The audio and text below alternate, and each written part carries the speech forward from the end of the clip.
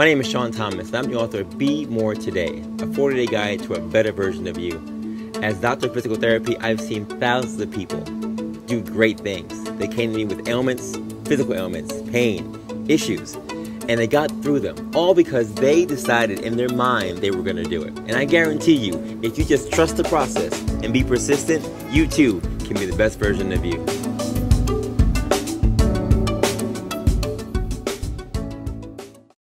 Ever been out and about with nowhere to stash your keys and ID so you can be hands free? Whether you're running errands, traveling, or hitting the trail, Spybelt is the belt that goes where you go.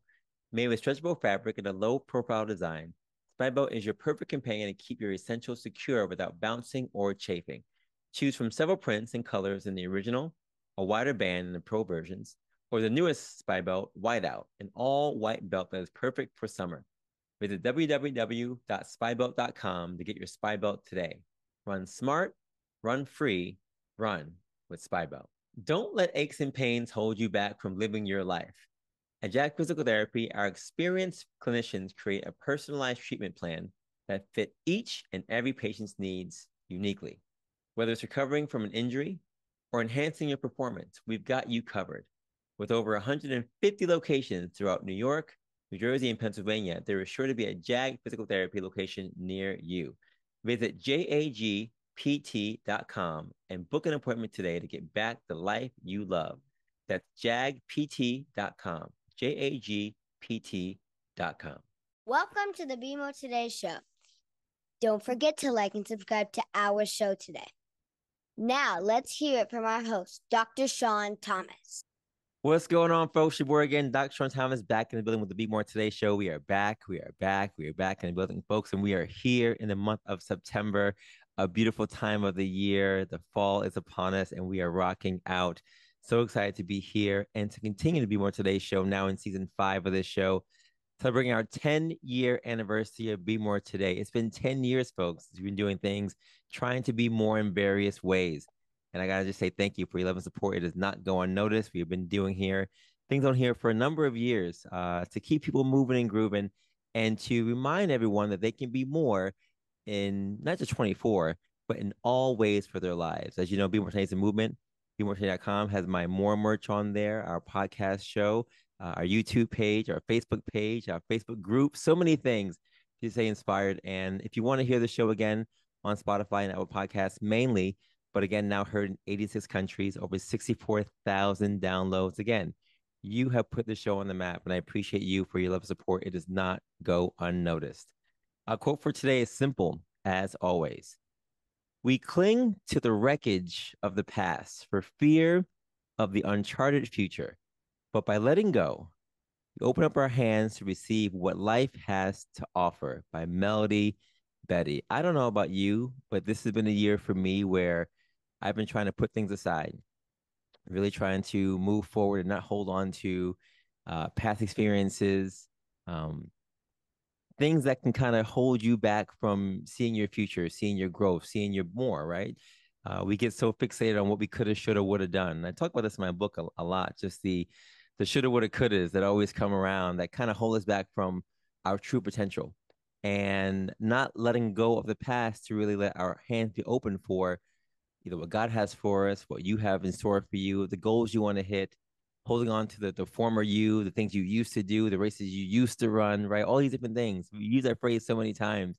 We're really looking forward to what we can do, not just in terms of our personal lives and our physical lives, but also for our community, for our churches, for our families, for our jobs. And I thought to myself, who could I bring on the show this week to talk about um, not just legacy, but also just talking about ways to be great in your own space and ways to find ways to be great for those around you. And one name came to mind Dr. Tiffany Llewellyn. Now, for folks, if you don't know who she is, she's a rock star, a licensed clinical social worker, speaker, consultant, and educator. She earned a Bachelor of Science in Social Work from Medgar Evers College, a Master of Social Work at Hunter College, and a Doctor of Social Work degree at the University of Southern California with a research focus on the impact of systemic oppression on Black mental health. Let's go. Dr. Llewellyn has an extensive experience within mental health care and is passionate about mental health through the lens of race, oppression, and power. Her experience includes creating structural change through the social justice work, working with clients to increase wellness and decrease racial trauma, and activating students for social justice engagement. Folks, I'm super excited about this week's show. So, without further ado, ladies and gentlemen, boys and girls, pets included, please welcome to the stage my friend and our newest guest on Be More Today show, Dr. Tiffany Llewellyn. Tiffany, what is going on? Hey, man. Thank you so much for having me here. Congrats on 10 years. That's amazing. Um, I'm excited to be here in the conversation we're going to have. I appreciate you so much. Uh, you and I have many ties to each other, indirectly and directly. I know your mama. Um, mm-hmm. Your mama and I were elders at a church together. Um, and you were there clearly in passing because you were doing so many things, right? But I had a chance to really meet you and, and really meet you better as I attended a number of workshops that you were putting on uh, that were social justice based. And uh, me and my whole group of friends, my wife, who was so excited to be there, had a really a chance to really see you in action and to see you really get down with what you are blessed with your ministry, with with your purpose, with your drive, with your passion, um, along with uh, people like Jamie Khallisar and others who are doing great, great things in terms of um, looking at ways that we can be better for our communities inside the church and outside the church. So I'm just happy to really be able to talk to you today, connect with you, and talk about the ways we can be better for ourselves and for each other. So before I get started, I want to just say, I think you're great. And um, I, I want to talk about your business now, talk about your wellness and consulting business. Talk to us about what this business is and the great work you're doing uh, on your own right now. Yeah, so I own and operate a private practice called Llewellyn Wellness and Consulting.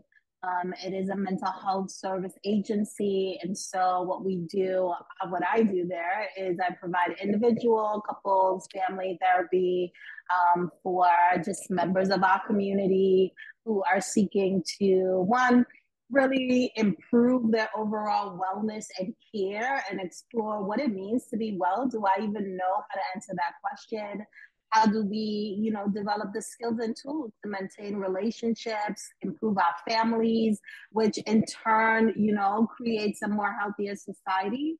I also do a lot of consulting work um, across different universities, working with students of color, working with institutions to systemic structures really influence mental health care for students, for staff of color, um, how to create more equitable interventions within their organizations or schools or businesses. And so that's just a little bit of the work that I do on the side through my practice. I love it. I love it. I'm always curious when people start to say, you know what?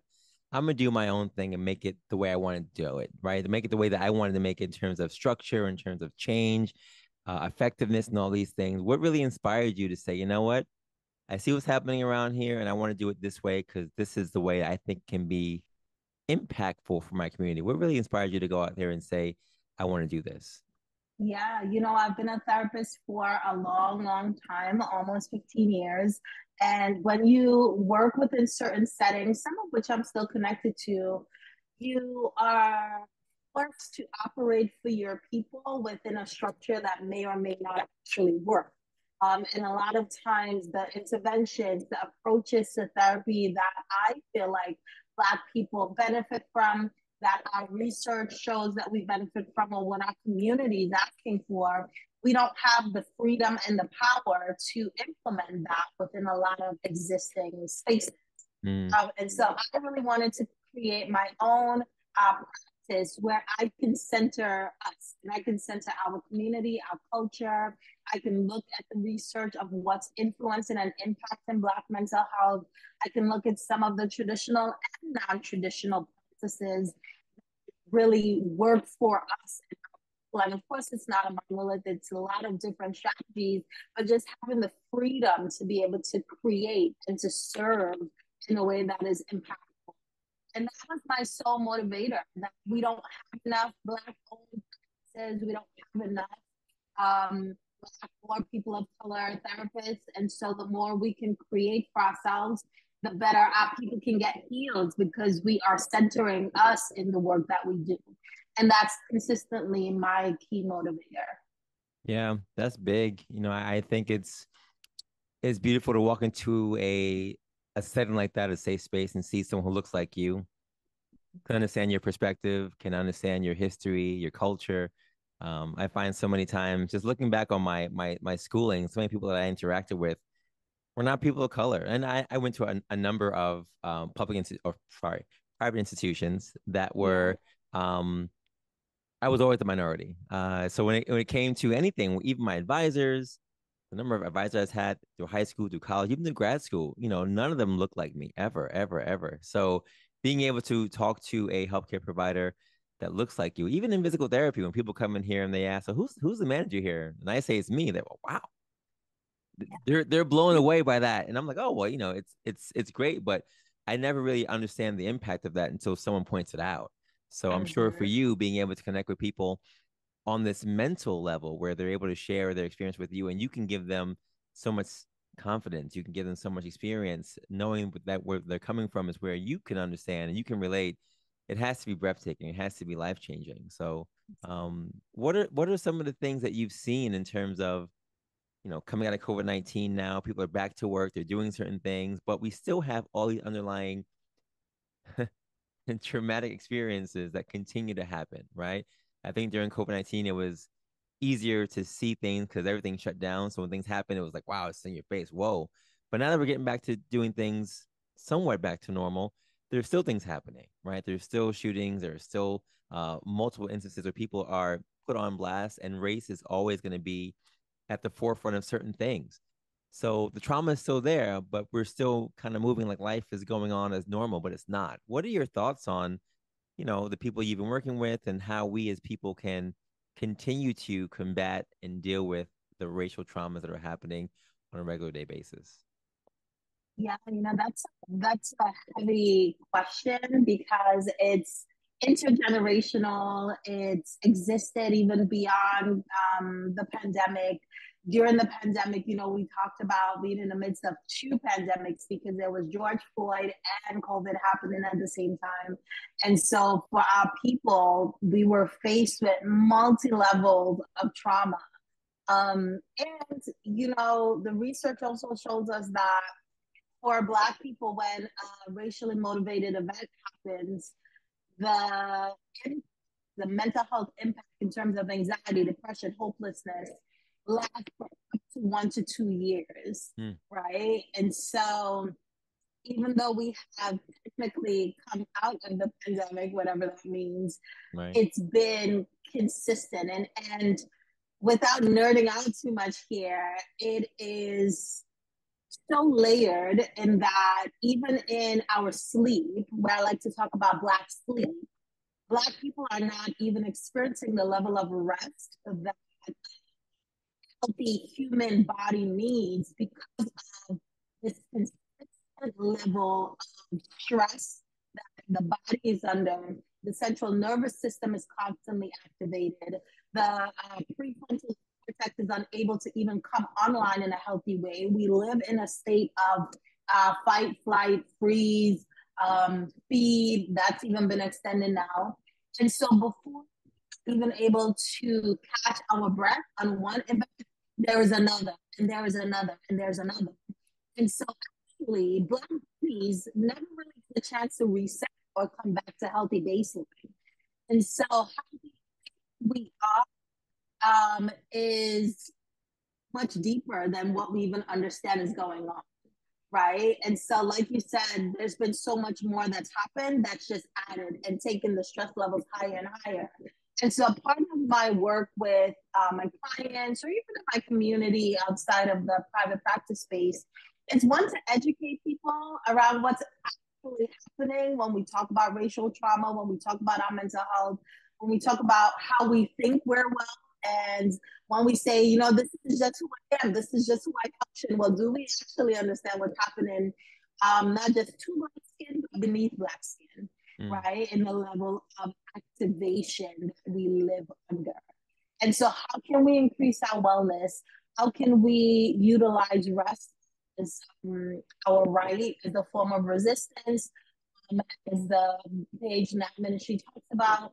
how can we develop the skills and tools to increase our, in, increase our self-esteem and confidence in what we call positive racial identity? Because when these shootings and killings happen, it is a form of dehumanization, right? It's a stripping of ourselves because you look at this person who looks like you, who looks like your auntie, your uncle, your brother, your father, your husband, and you know that the only difference is that it wasn't you in that moment. There are no other circumstances necessary, and that in and of itself is stress producing and it dehumanizes. And so, how do we come back into ourselves? How do we pour back into our children, into our families? How do we build positive racial identity and learn to love ourselves again? How do we develop language, the most important piece, for what we are experiencing? to be able to name that when you come home and you are overwhelmed and stressed and you don't even know why, that you can communicate to your family, to your community, what is actually happening with you, and take the necessary steps and skills that you need to just manage and cope. I like to keep it very realistic in that there's no way to mental health our way out of systemic oppression, right? Mm-hmm. And so what that means is that we have to figure out a way to cope and to manage throughout until things change. Hopefully, we get to see an equitable society in our lifetime. But what does that look like? To know that your skin is a target, you enter into society and into systems that want to dehumanize you, mm. and you have to figure out a way to be well even within that. And that is a high um, and so that's that's really a lot of what the work looks like. Yeah, uh, I'm I am connecting with you on so many levels right now. I'm just thinking about social media and all that we see on social media nowadays. You know, before it was, you know, if you're watching TV or hearing the news, you may hear it, but now literally on every social platform, even from the the Sonya shooting in Springfield, mm-hmm. um, there's so many things that are happening. You're seeing these things, and they're popping up. Even if you don't want to see them, they're popping up in your feeds. They're popping up on on various chats, on WhatsApp chats. Right, everyone's sharing and resharing, reposting. So even if you're trying to avoid these things, to not have that trauma, it's being thrown at you to some extent, in some regard. And I think for me, sometimes it's overwhelming because yeah, when you see people who look like you it's it's traumatic because yeah, on any given day, that that could be me, that could be you, you know, depending on what's going on. And I think what bothers me even more, and maybe this is my own personal thing, but it's it's sometimes hard to even escape it when people are talking about it. And if you don't want to be part of the conversation, it's fine. But you know, people are talking about it, and they're talking about it in the context of that person. But I always internalize that. I internalize that. Oh, well, they're maybe they're talking about me or my people or whatever else because they are although it's not me, it's still me, right? It could be me. so yeah. it's, it's almost it's almost hard to separate those things. And and I, I think the the the levels are just so much higher now for this generation and the the next generation. I think about my daughter and what she may be going through as she grows up in this environment, you know. So having services like you're providing are crucial so that people can have a way out or a way to at least digest and process what they're seeing, what they're experiencing. Um, so, you know, how can people reach out to you or connect with you if they want to benefit from your services or from your tutelage? Yeah, so my website is uh, tlwellness.org. Um, anyone can find me there. Um, I, wouldn't even say I'm on social media anymore in that particular way I am, but that's really the best way. You can always send me an email info at llewellynwellness.org tiffany at llewellynwellness.org. Those are the fastest ways to be able to reach me. Okay, awesome. So, with all the work you're doing uh, on your personal level, you've done so much work in terms of community as well. And I really want to talk about Adventists for Social Justice because that's when I really saw you in action. I really saw you and your team doing some great things. You and I are both Adventists. I've had a number of Adventists on the show. Uh, for those again who don't know, uh, Christianity has a number of different facets.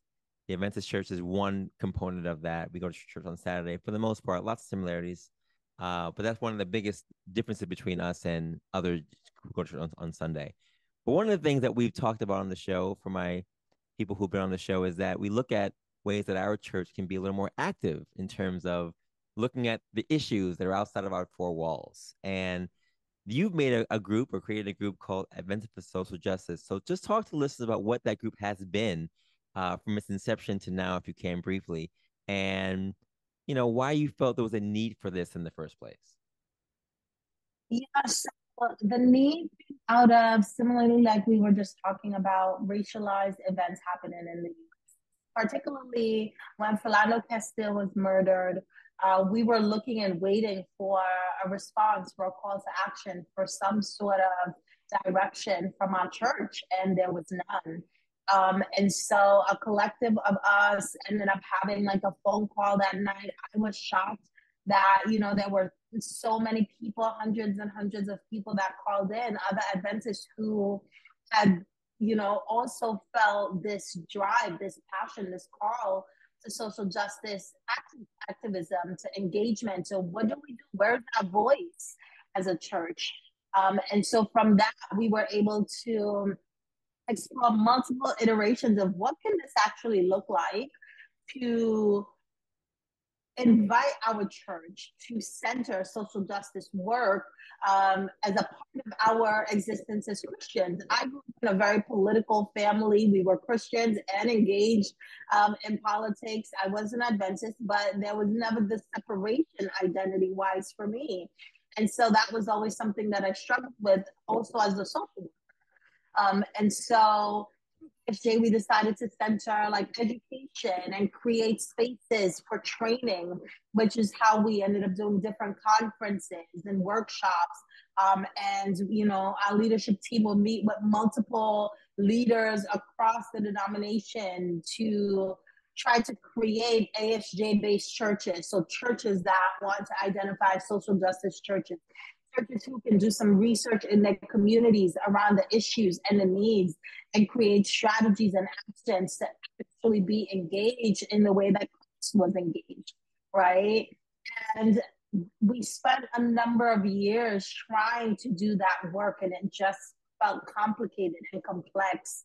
Um, and there was a lot of resistance.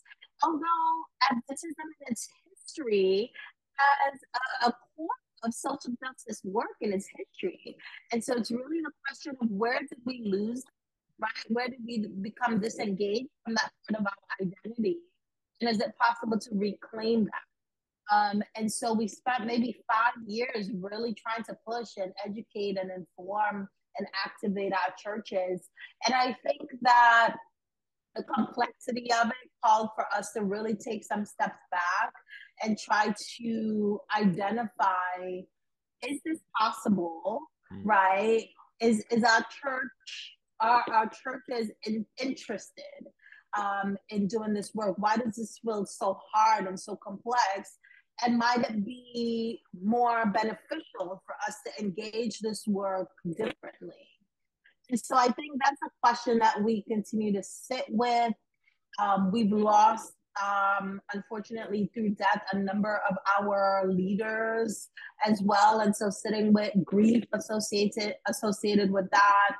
Um, and so i think we are in a space particularly this year that is such a big election year that is uh, a year that determines so much as it relates to the most marginalized where we are beginning to reconvene and re-explore how might we be able to re-engage our churches, our communities in this work um, at such a crucial time in our, in our world's, in our country's history? Um, somewhat, I think I, I become a little despondent, but I think I remain hopeful that we can get our identity as mm. it relates to being Adventists who do social justice work and know that this is not a challenge to um, our beliefs. It is in line with our beliefs. It's in line with scripture. It's in line with Christ's method and Christ's way. Um, and so I'm excited to see what the future of ASJ can look like as we sort of reframe some of our work. Yeah. Well, I, I didn't know what the update was. You know, the last time I attended the conference was before COVID, and it was so it was so invigorating. Uh, my wife, as you know, is a defense attorney, works yeah. in Brooklyn. She left there hype, uh, and you know, for hers, who who was someone who came into the faith uh, at a at a later age, right? Because she was raised Mhm. Hindu. Christianity always seemed very insular to her, especially Adventism in the sense that when everyone asked her why she was doing the work she's doing, you know, the, the defending criminals, as as as some would say, but in her mind, she's Mhm. giving them the best situation that they can and defending those that need to be defended. The law says, you know, innocent until proven guilty. It is not her job to uh, to find someone guilty. It's her job to give them the best case they can get, and for the Mhm. um, the prosecutors to prove that that person is again guilty, because again, innocent until proven guilty. So that was her main job, Mhm. and so many people in the church would give her, well, how can you look? This person did this. How can you defend that? And Mhm. it, like you said, it's right in line with what Christ has been talking about, right? In terms of what God has and Christ was doing on this earth, defending those who needed defense, uh, standing up for those who needed sta- standing up for. And for her, going to a conference like yours was eye opening because for the first time she saw the, the the Christian message in action. So she left there saying, "Yo, let me go and maybe I can do my own thing at my job or find something we can do in Brooklyn." And there was so much hype, and I think like what you're right in terms of the the capacity for uh, Christian churches, maybe ours just in general, but it could be many as, as well, not being able to see the bigger picture of how Christ's life exemplifies what we're trying to do, what you're trying to do in that same regard, helping those who need help, being a voice to the voiceless, giving power to those in need, and really helping community. And I'm not really sure, Tiff, why it's so challenging for church organizations, CBOs, faith or faith-based groups to to latch on to this thing. Um Yeah. because I, I get the same frustration that you that you're feeling. There's a lot of pushback, there's a lot of resistance, There's a lot of of change. And I, I sometimes feel like we we feel more comfortable just sitting in our pews, sitting in our walls and, and feeding ourselves as opposed to actually going out there and, and feeding others. So I'm a little sad to hear that the the shift has happened even in terms of your group, but I'm I'm reassured that I guess you know it, it sounds like you're hopeful that that a shift can happen, especially during such a time as this, uh, with an election year at hand. You know, it, it's it's so important for us to be a little more active in in in in looking at what we can do to help those who are around us, not just not just help ourselves. So Yeah, and if I can just add really quickly to this piece of why, because I think, you know, as an educator, as a social worker, I'm trying to get to the root cause, right? We're doing this work and there's a resistance. So why? What's at the core of the resistance? And I think there is an ideology within Adventism specifically, because at other faith uh, groups and denominations who center social justice work, right? But in our denomination, we struggle. Um, and I think we hold an ideology that is about eschatology, about Christ's second coming as the poor. And so our focus is very heavenward. Our focus is very much about when Christ comes back, then the world will be better. And we Mm, just need to wait for God to come back. And we just have to live in these sorts of circumstances. It's just the result of sin. Um, and I think that ideology from our research, from our conversations, from engaging multiple different spheres of Adventism and facing the same sort of challenge, it, it is the idea of Christ will come and he will fix the earth mm, um, and cleanse the earth. And so we, our only responsibility is to prepare for that. And Hmm. so if we can help to shift the ideology, the ideology a little bit, to also include Christ's ask of us to, you know, uh, do justice, what you know, love mercy, all these things, then we can see that Christ is not just asking us to wait for the second coming, but we actually have a job to do now to create a more equitable society. Um, and so that I believe is at the core of the resistance. Yo, that's a word right there. And you know, it's it's funny because I, I completely agree with you. I do think that that may be it. And that that's I struggle with because there are so many things that happen on a regular basis, right? There's so many mm-hmm. everyday things that we're missing then. We're missing opportunities to reach out and talk to mm-hmm. people who may be on our street struggling right now with certain situations, right now with certain issues. We're missing opportunities to join our communities who are marching for whatever reasons around our blocks, right? And as they're marching around their blocks, whether it's on Saturday or not, it's a whole nother thing by itself. but you know whatever that, that day may be a number of other faith-based organizations are out there right and they're supporting you you walk around even brooklyn you see so many churches that have various flags that are are political some but most of them are just supporting whatever the the, the people in the area need support with right whether it's uh, people who are against gun violence or people who are against oh, you know even the black lives matter thing right? Where so many churches were putting up black lives matter signs all over their churches. But for us you know that would be such a thing because if yeah. we did that then you know what what does that mean? And I, I struggle with the the concept of us always thinking that we are part of the community. But then when it comes down to community things we shy away from mm-hmm. being a part of the community. So that that's just a struggle for me and i know there are people in in various groups who do their own thing and i salute those who do and i'm not saying anything against those who don't but i do think that you know if the church is really supposed to be a safe place, a place of a haven, right, for those to come and like it was originally for people to come and whatever their needs were, it's just to fulfill those needs, like like the word says. If there's a need, fill the need. If someone's hungry, give them food. If someone's thirsty, give them water. Uh, we should be doing those things, and if we're not, then what really is the purpose of of the modern day church? Is it really for us just to come and to celebrate each other and and to to to to, to worship and then go home, or is it really to f- fulfill a need for those who are around us. And yeah, I, I'm in the same boat, Tip. I, I don't know uh, where to pick up where the ball dropped, but we have to pick up the ball somewhere. hundred percent. Yeah. 100%. Now you you mentioned a comment that I saw on social media and I had to repost it because it was pretty profound. And I just want to read part of it now just so I can understand what you were talking about.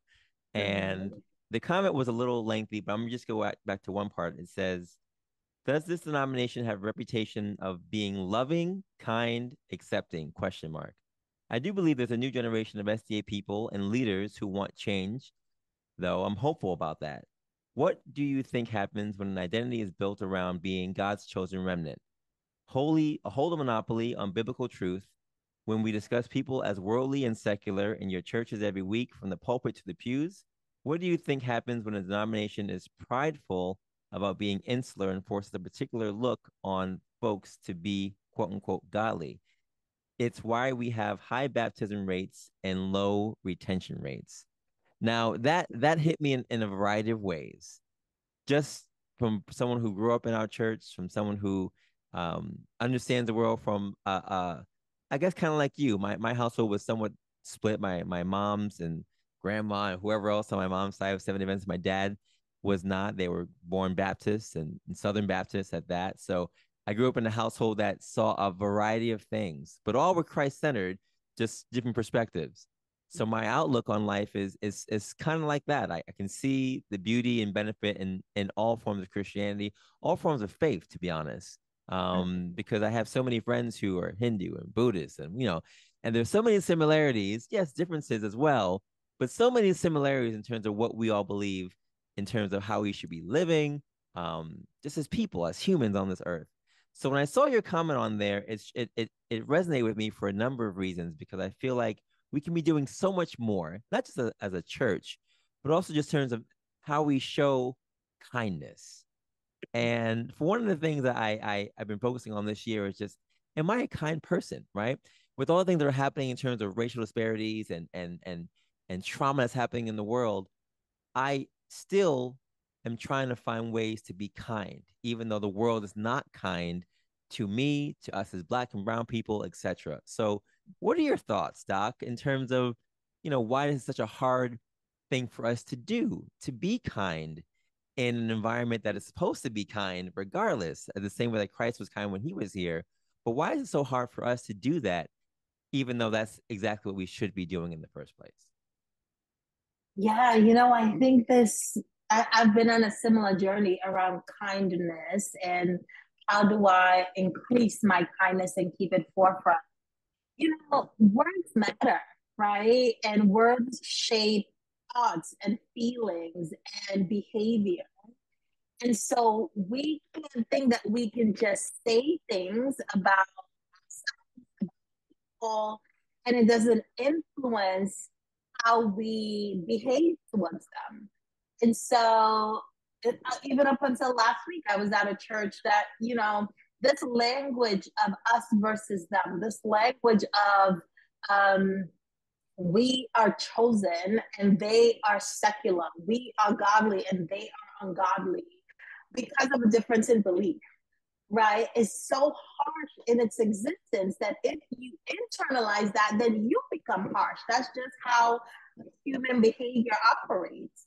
Um, and so I think when we root our identity in this language that then creates an inferiority complex, there is no other way for us to operate than to be unkind to people and how we think about them, see them, speak of them. Um, and, and so it is very much anti-Christ. Christ didn't speak about people in these ways or, or about people in these ways, right? But for some reason, we this is a part of just our norm, our function, and our culture, and we've normalized it and spiritualized it and utilized scripture to support it without seeing that this sort of behavior, this sort of way of thinking about people is unkind, and that what separates us on a human level from anyone else, that you know, our beliefs differ, and and that's it. But in terms of existence, experience, you know, there are so many similarities that kindness is the minimal of what we can do, we can be. And I think it really will call for us to reshape our identity. When God says that I have people of other folds, you know, we we forget that part. We don't read that part of the scripture. No, we mm-hmm. are the remnant right? And so I just think it's embedded within Adventist culture. I remember growing up, I was Methodist growing up, I grew up in a village back home. And Adventists were so separated from us in the village. The children were so separated. Um, there was, and, and as I later became Adventist, I became to understand that this is a part of the culture you pull your way yourself away from you consider yourself different or special or better in ways that really doesn't replicate how christ did it right um, and so I, I think it is in our dna to be unkind in many ways um, mm. and it will require of us to intentionally want to be different and want to shift the dna and change the culture mm. That's that's crazy. You said it's in our DNA. That's wild. Um yeah. That's wild. But I, I do agree with you. Shifting shifting the culture is is something that I believe in. And shifting the culture is something that I've I've I've been doing on my own, I think, my own personal uh, uh journey. Um mm-hmm. trying to do that for m- me and my family. Uh and, and I've seen that even in doing those things, like you said, there's been there's been some resistance. You know, people have said certain things, they've whispered certain things. I don't care about any of those things at all. Um, I I fear no man, right? But I do think it's interesting that this is even a thing, and it it it, it has become something that I think has it has made others who were thinking about either coming back to the church or checking out the church in general to say, oh wait, what's happening? No, I'm not about that. And going and going other ways. And and that to me is sad because it's not even about the message, right? It's not even about Christ per se. It's really about right. people and and the culture that the people that we as people have have now assumed that this is going to be what we do. And I, I have so many problems with that. But I think that there can be hope because I think that there are people like you who are going out there and just pointing out the truths of of what's really happening, right? I think for such a long time there there was not a lot of talk about culture in terms of church, right? It's just been about this is church, yeah. and church is this way, which church is a certain way, but so much of church, yes, is the Bible, but there's so many things that are culturally driven that are not biblical that we now have mm. assumed also means church. And at the same exactly. time, that is that's not a thing. This is now we created this thing. This this is now what the culture of this church is versus that church, and you know, etc. But that's not a biblical thing, and I think that gets in the way of someone wanting to get closer to to God or Christ. Now we're talking about not so much the Bible and, and Christ.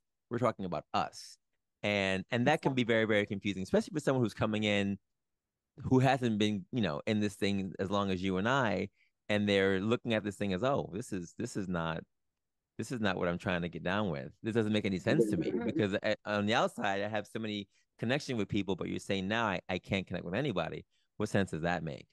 And right. that, that's confusing and just to add a practical example of what that looks like because this came alive for me just last week I was at a church who had just finished a um, evangelistic series. This was literally the Sabbath after it ended, and the new converts are in the congregation. And the pastor's sermon centered on, and he made a comment saying, you know, back in the day before someone got baptized, we would go to their house and check their fridge and look in their closets to make sure that they are ready and there was someone who would say, No, baby, you're not ready yet. No, you're not ready yet. And I thought about the juxtaposition of new converts sitting in the congregation, hearing this as a norm of Adventist culture, right? And what it means and how contradictory, how contradictory it is to the message of love and acceptance of Christ. Now I am I fearing that someone's gonna come search my house ensure that I am ready enough, that I am Christian enough, that I really that I'm Adventist enough to choose Christ, right? And so the harm is layered, it's embedded, it's coming from multiple levels, and it's doing so much um, on, on just a practical level of how we separate, how we create this sort of unkind version of Christ that isn't how he works and operated or even called us to work and operate. Yeah. And so it's really layered. Yeah, that's that's crazy, but I'm not surprised. And I, I think the the the issue, like you're saying, is, you know, where, where do we go? How how do you rectify this? How do you how do you change culture? How do you change culture mm-hmm. in an environment that has been so spread out and has been allowed to be certain ways for such a long time where you know the, the, the newer generations like you and I and even you know those coming after us you know I, I think about the internet and the internet's been an amazing thing also a crazy bad thing in so many other other ways but it has been successful in in kind of pointing out certain truths right and fact checking certain things. There were so many times where somebody can just say whatever they wanted from a pulpit or even from a stage even at work right and there was no way to fact check anything but now people are like, yeah, that's not true. Mm, I don't yeah. believe that. Nah. Yeah. what you're saying is not accurate, right? So it, it comes down to yes, we're, we're we're smarter. We're smarter. People are thinking. They're actually using their brains. They're they're they're they're rationalizing. They're understanding where they have been, where they are, and where they want to go. And I don't think that we're in a space now where you know the do as I say, not as I do thing is is is relevant anymore. We're in a place where it's like, yeah, whatever we're saying, we have to do. If we're saying that God is love, then we have to be love and, and, and, it can't it can't be about oh well you know this is how I am and this is uh, you know so many excuses you put out here and so many justification you put out here for why we do certain things but no the facts of the matter are let's just be what we say we are. Let's just do what we say we want to do. And I think for me that's how you really draw people in. That that's how others who have, have been doing this for even outside of our direct domination you know other other bodies of faith that's what they do you know it, it's yeah. it's it's simple kindness simple acts of kindness simple messaging, uh, uh, and and it's c- concise to the point that people are are moved by the simplicity and the transparency of it. Yes. And I, I think for me that that's that's that's the hard part. So, you know, Doc, I I, I gotta ask you how you, the work that you do, right? Um, how do you reconcile your work with so many factors we just talked about, culture and tradition and the modern norms and all these different things? How do you recognize and reconcile the work you're doing to make an impact on not just the church, but also the clients that you see, today's society, those who are, are struggling with the racial trauma outside, and then come to you or come to places of faith looking for reconciliation, looking for safe spaces, but also feeling like those spaces are not spaces where they can share because there's judgment, there's a lack of love even there. So where do you go? Where what do you share with them is the best way to deal with the things that are happening in today's society? Yeah, you know, one of my favorite quotes is I am human. Let nothing human be alien to me. And that for me is my sort of guide in anywhere that I am, anyone that I interact with in that moment. It is can my humanity touch their humanity? Can their humanity touch mine? And that's the only thing that matters, right? When us when our humanity meets each other. And so I think less about the spaces, and I'm, you know, I've tried to curate multiple different types of spaces to mm-hmm. do the work. And I've tried to, you know, do it through my own practice and do it through all these different means. And it all has its impact. And I continue to come back to the most powerful is when your humanity meets mine and what we can exchange in that moment. And that's the moment and that's the space and that's the interaction that matters. And everything else is just supplemental. Um, and so I just exist now in a way where that's the focus and that's the core that every conversation, every encounter becomes the opportunity to see people and to be seen.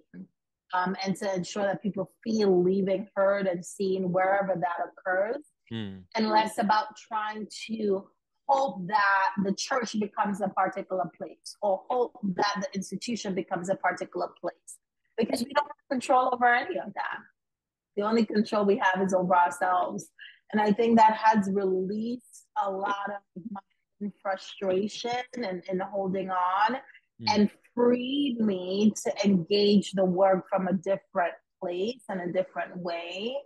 Um, and so i think that's sort of my my approach now i try to hold hope as uh, a part of my core and, and i try to say you know i'm hopeful i hope for this i hope for that yeah. and while those things happen and i hope those things happen all i have right now and many times all i have is a moment mm. right and i think some of that comes from my work and work in crisis and you know, all you might have is one moment, one interaction to be the difference between someone choosing to do something really scary.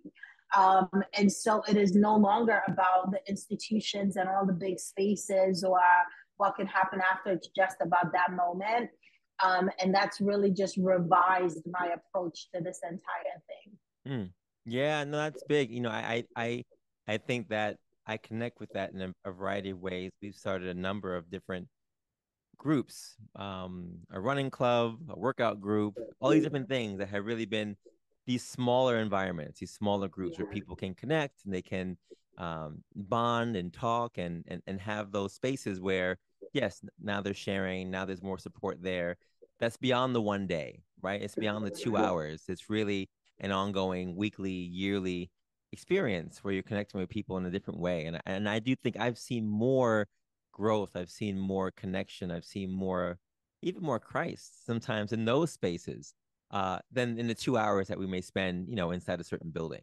Uh, or even the conversations that are happening after those two hours, right? The conversation where people are sharing what their week was like, or the, the calls that I may get from a friend during the week talking about his situation with his kid or whatever else. And and us praying in that moment those things have been a little more beneficial for me to say okay well this, this is what it is right? The, the the inspiration during during the the certain day is great but when it comes down to it when someone like you said has crisis or trauma when they're going through something and they reach out or call out in that moment where they're connecting and you're sharing a word with them or a scripture with them or a prayer with them and their life may be changed for the good or for the worse in that moment that's the moment.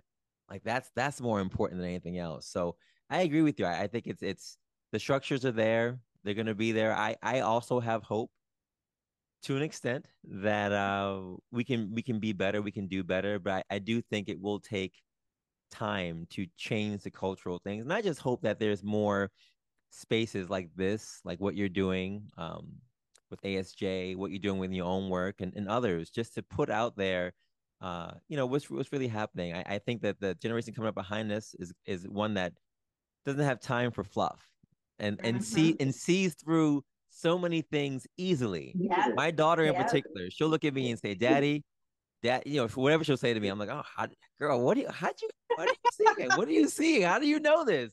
Like, "Daddy, I know you." I'm like, "What?" Do you? And I'm, she's right. She knows. She mm-hmm. sees right through me. Yeah. and they're smart. And the, the, the those who are coming up in in today's environment, whether it's SDA Church or other forms of Christianity or other faith walks, they're smart. You know, there, there's no there's no sugarcoating.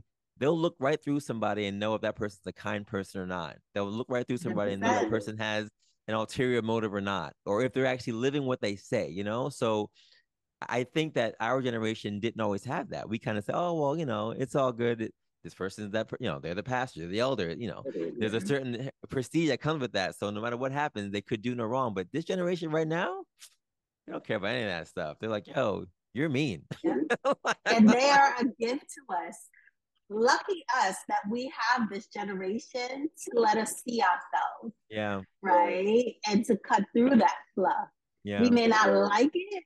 It's hard. You know, your daughter's, wi- I only have a six month old. So imagine when she gets to your daughter's age, oh yeah, right? The level of just transparency.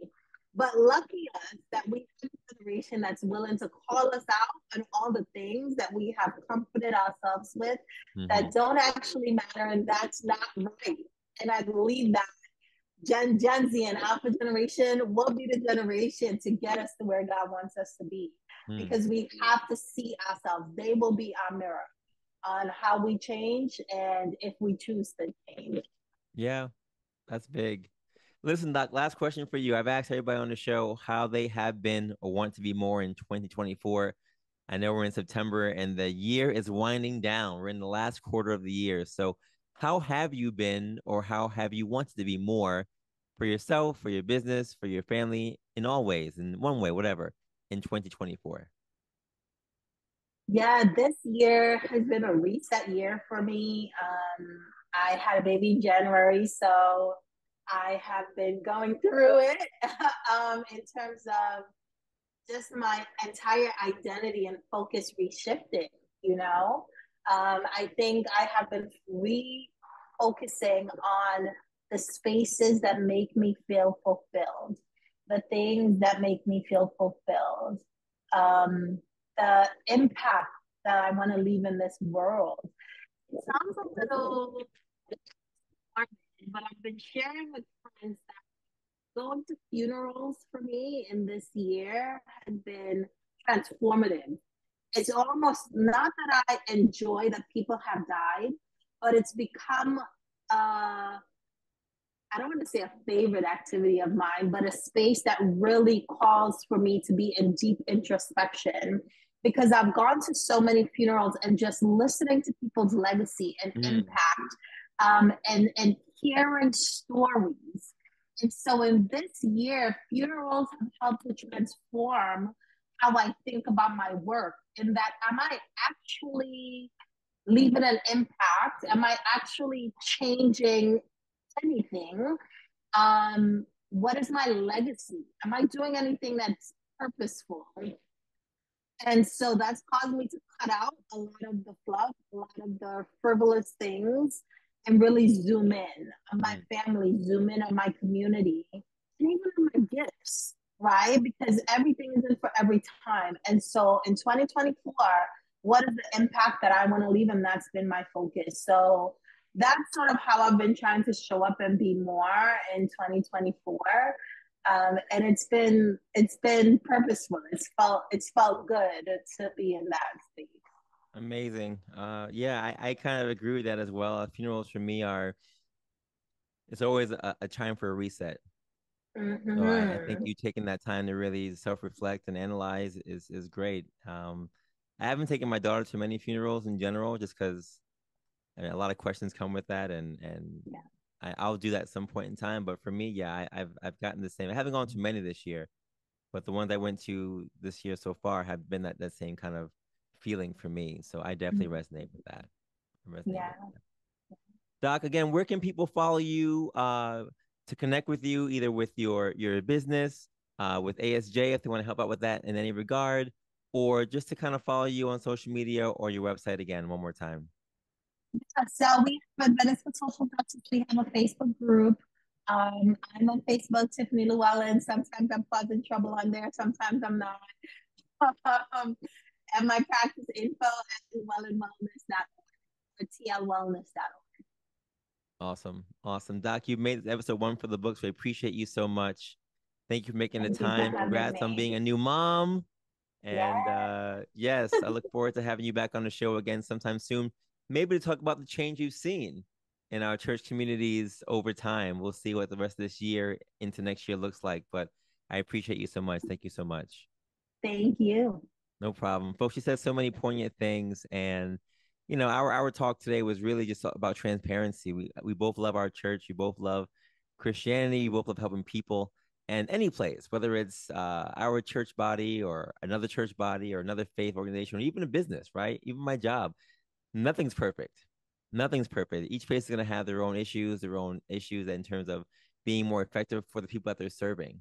But I do think it does come down to us trying to make sure that we're serving our people the best way possible, whether that's inside the the four walls of a church community or a mosque or a synagogue or uh, the four walls of a PT clinic or even the four walls of her private practice. We have to make sure we're serving our people correctly, efficiently, so they can show improvements to be better for themselves and for each other. And we can't really do that unless we're honest with each other about where we are, where we're trying to go, and the things that can hold us back from from getting there. So, like the quote said today, we cling to the wreckage of the past for fear of the uncharted future. But by letting go, we open our hands to receive what life has to offer.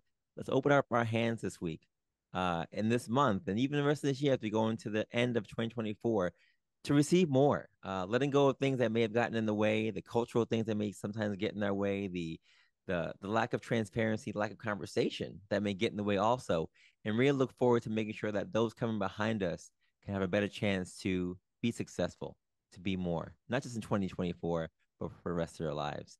Until next time, folks, have a great day, have a great night, have a great life, and I'll see you for our next episode. Peace.